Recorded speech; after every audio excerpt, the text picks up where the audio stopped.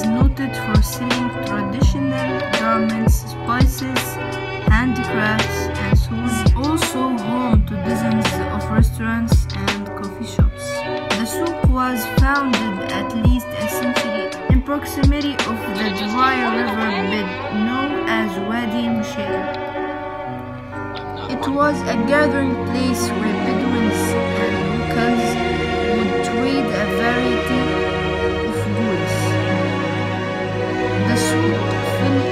and in 2003 most of it was destroyed in the restoration